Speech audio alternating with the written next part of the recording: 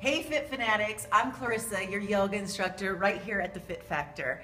I want to invite you to come out and check out what yoga is, whether you've been practicing for years or you're a newbie. Come and check us out. Reduce your stress, increase your flexibility, and live a more balanced life.